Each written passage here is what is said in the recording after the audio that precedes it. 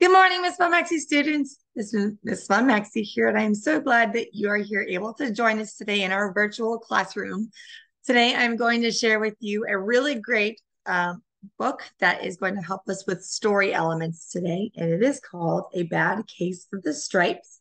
I love this book because it is written and illustrated by David Shannon, who wrote a book called No David, which was a very special book in our family when our younger son was little because it was kind of like a No Alex, but this was a No David book. Well, this is a different book, but same illustrator and author.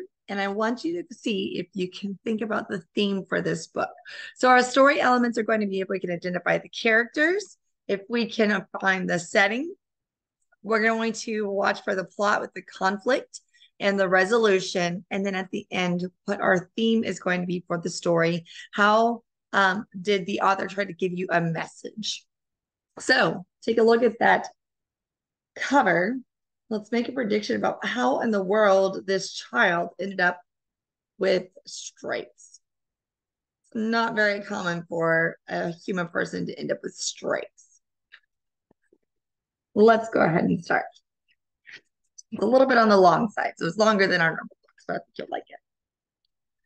Camilla Cream loved lima beans, but she never ate them.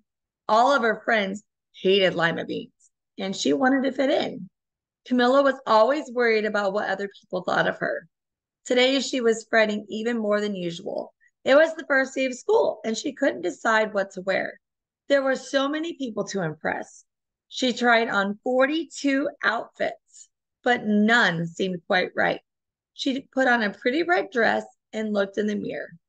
Then she screamed. So, right now, the author's already given you a lot to think about. What is on her mind? See if you would scream about this. Her mother ran into the room and she screamed too. Oh my heavens, she cried. You're completely covered with stripes. This was certainly true. Camilla was striped from head to toe. She looked like a rainbow. Mrs. Cream felt Camilla's forehead. Do you feel all right? She asked. I feel fine, Camilla answered.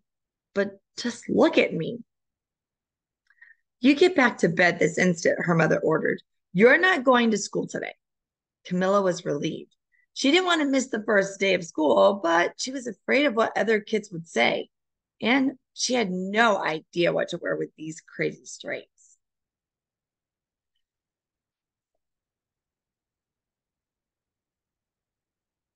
That afternoon, Dr. Bumble came to examine Camilla. Most extraordinary, he exclaimed. I've never seen anything like it. Are you having any coughing, sneezing, runny nose, aches, pains, chills, hot flashes, dizziness, drowsiness, shortness of breath, or uncontrollable twitching? No, Camilla told him. I feel fine. Well, then, Dr. Bumble said, turning to Mrs. Cream, I don't see any reason why she shouldn't go to school tomorrow. Here's some ointment that should help clear up those stripes in a few days. If it doesn't, you know where to reach me. And off he went. I'll show you up real close because look, even her tongue is striped. How weird is that? Right, take a look at the illustrations here. See if you can make a prediction of what she's doing. The next day was a disaster. Everyone at school laughed at Camilla. They called her Camilla Crayon and Night of the Living Lollipop. She tried her best to act as if everything were normal, but when the class led the Pledge of Allegiance, her stripes turned red, white, and blue, and she broke out in stars. Kind of looked like she would blend in at a football game. oh, look at that one. She's got a whole bunch of everything. The other kids thought this was great. One yelled out, Let's see some purple polka dots. Sure enough, Camilla turned all purple polka dotty. Someone else shouted, Checkerboard! And a pattern of squares covered her skin. Soon, everyone was calling out different patterns and shapes and colors, and poor Camilla was changing faster than you can change channels on a TV. Seems like everyone's having a good time except that night, Mrs. Harms, that night, Mr. Harms, the school principal, called. I'm sorry, Mrs. Cream, he said. I'm going to have to ask you to keep Camilla home from school. She's just too much of a distraction. And I've been getting calls from uh, the other parents. They're afraid those stripes might be contagious. Camilla was so embarrassed. She couldn't believe that two days ago everybody liked her. Now, no one wanted to be in the same room with her. Her father tried to make her feel better. Is there anything I can get you, sweetheart? He asked. No, thank you, sighed Camilla. What she really wanted was a nice plate of lima beans, but she'd been laughed at enough for one day. if you can make a prediction you're headed towards the end of the book. What's going on in your thoughts right now? Here we go. Got some more doctors on the scene. I'll let you take a nice long look from head all the way down to her toes. Oh. Hmm, well, yes, I see, Dr. Bumble mumbled when Mr. Cream phoned the next day. I think I'd better bring in a specialist. We'll be right over. About an hour later, Dr. Bumble arrived with four people in long white coats. He introduced them to the Creams. This is Dr. Crop, Dr. Sponge, Dr. Cricket, and Dr. Young. Then the specialists went to work on Camilla. They squeezed and jabbed, tapped and tested. It was very uncomfortable. Well, it's not the mumps, concluded Dr. Crop. Or the measles, said Dr. Sponge. Definitely not chicken pox, put in Dr. Cricket or sunburn, said Dr. Young. Try these, said the specialist. They each handed her a bottle filled with different colored pills. Take one of each before bed, to Dr. Crop. Then he filled the fi- then they filed out the door, followed by Dr. Bumble. See if you can make a prediction about what's going to happen next. Remember, she's going to take the medicine. I'll give you a moment. See if you imagined death. That night, Camilla took her medicine. It was awful. Then she woke up the next morning. She did feel different. But when she got dressed, her clothes didn't fit right. She looked in the mirror, and there, staring back at her, was a giant, multicolored pill with a face on it. Oh my goodness. I think I might pass out. Oh. Look at all these tentacles and all of these at the end. Definitely looked like they have these scientists kind of freaked out. Dr. Bumble rushed as soon as Mrs. Cream called, but this time, instead of the specialist, he brought experts. Dr. Gordon and Dr. Mellon were the finest scientific minds in the land. Once again, Camilla was poked and prodded, looked at and listened to.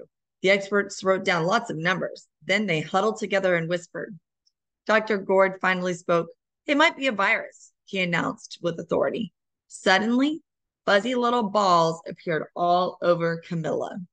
Or possibly some form of bacteria, said Dr. Mr. Mellon. Out popped squiggly little bacteria tails. Or it could be a fungus, added Dr. Gourd. Instantly, Camilla was covered with different colored fungus blotches. So you can see those yellow fungus blotches she's got her the experts looked at Camilla and then at each other. We need to go over these numbers again at the, at the lab. Dr. Gourd explained, "We'll call we'll call you when we know something." But the experts didn't have a clue, much less a cure. Hmm. Oh dear. So, what is going on here? So we have all the news reporters. Going crazy. We have police on site. I think it's this one's funny. Full color tattoos. Someone's trying to catch in on her trend. I don't think she wants that. By now, the TV news had found out about Camilla. Reporters from every channel outside her house telling the story of the bizarre case of the incredible changing kid. Soon a huge crowd was camped out on the front lawn. You can see that there's they are even pounding on her door, trying to get to talk to her family. How would you feel in that? If you were if you were in this situation, how would you feel about the media being on you? Well, this is how she feels. Quite a weird feeling. The creams were swamped with all kinds of remedies from psychologists and allergists and herbalists and nutritionalists and psychics and an old medicine man, a guru, and even a veterinarian. It's a dog doctor. Each so called cure only added to poor Camilla's strange appearance until it was hard to recognize her anymore. She sprouted roots and berries and crystals and feathers and a long furry tail, but nothing worked. So I'll let you take a look at her one more time. Here's her long furry tail. She's even got feathers.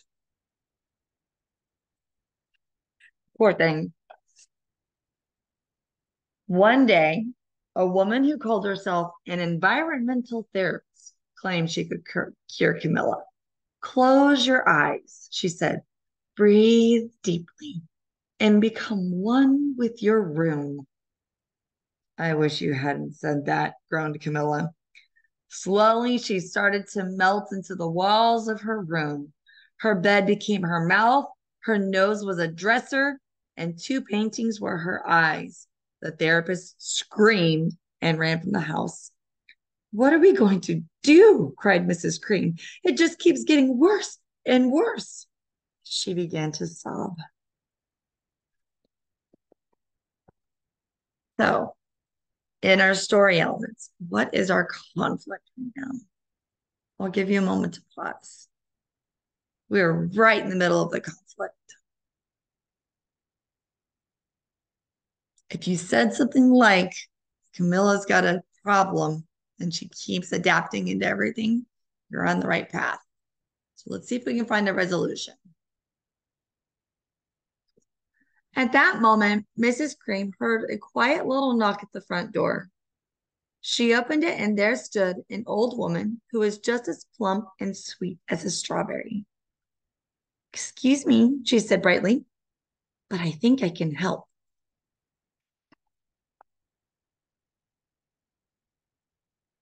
Moment this picture. I like her bag because it reminds me of the very hungry caterpillar.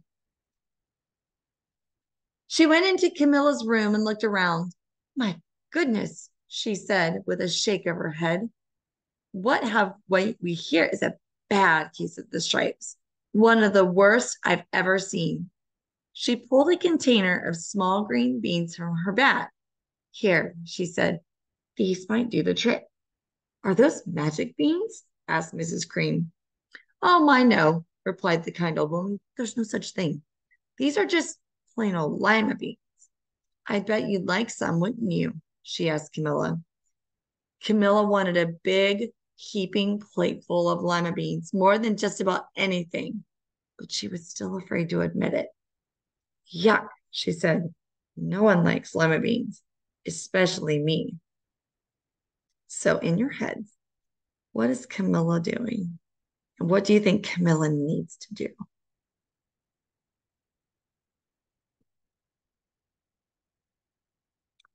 Oh dear, said the old woman sadly. I guess I was wrong about you. She put the beans back in her bag and started towards the door. Camilla watched the old woman walk away. Those beans would be would taste so good. And being laughed at for eating them was nothing compared to what she'd been going through. Finally, she couldn't stand it. Wait, she cried. The truth is, I really love lima beans. I thought so, the old woman said with a smile. She took a handful of beans and popped them into Camilla's mouth. Mmm, said Camilla.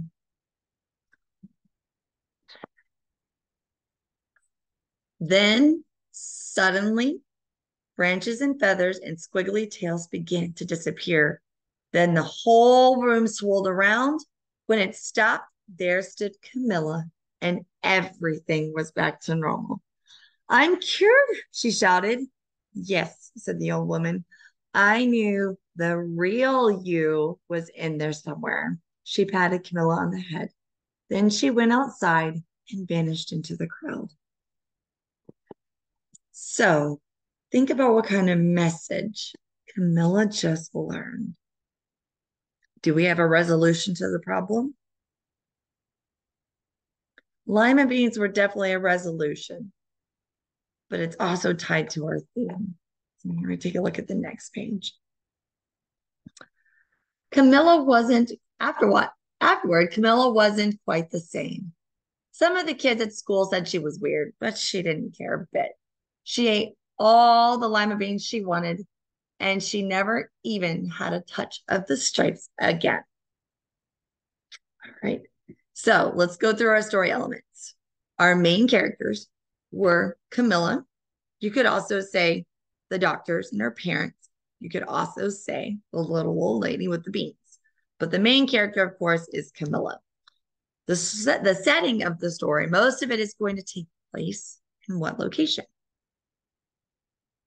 If you said school, that would have been, been at the beginning of the story.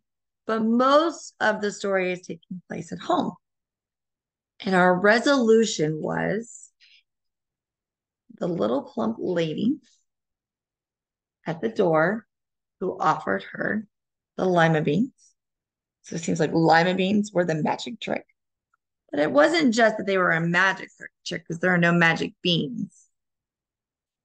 It took the theme of the author wanting you to understand to stay true to yourself and that no matter what other people think, still continue to eat your lima beans or do the things that make you special.